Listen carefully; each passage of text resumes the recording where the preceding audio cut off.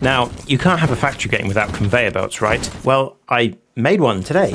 And here I'm using the conveyor belts to toast almonds, melt chocolate, and combine them into chocolate covered almonds. And I'm also heating sugar to make candy floss. These components will really open up a lot of design space for designers, us as designers and players. And for example, the candy floss sort of floats so you can actually use the bottom of the conveyors. And that's what kind of makes our physics based automation a little bit different. They're a little buggy and they need a bit of need a bit of polish, but what do you think so far? If you're interested in the game, follow, like, and share. It really helps us, and I really appreciate all the support you've given us so far.